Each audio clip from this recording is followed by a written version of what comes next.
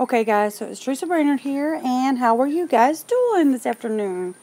I am here to give these. I promised I'd be back before Monday, and I'm here. So, let's see. We're going to give the little girl doll here, this one here, will go to Michael Fox, Foxter, girl. Oh, she gets the girl doll, I'm sorry. So, Michael Fox, Foxter. And then the little boy one right here will go to, uh, I cannot say her name. It's N-I-N-O-S-H-K-A, and then cancel. And she gets the little boy.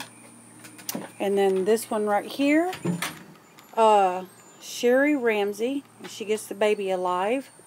And I'll be so glad when you get this doll, Sherry because she won't shut up and she keeps telling me she's hungry. And, oh, okay. You're going home to your new mama next. So, okay. These are the winners for this time, and then I will get back on here in just a few more days, and I'll give the other dolls out, okay? Oh, guys, you have a blessed day. Let me turn around so you can see me.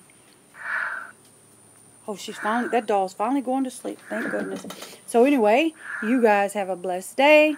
And there's hubby. Say hi, honey.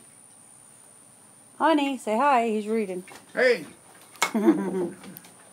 so there's honey.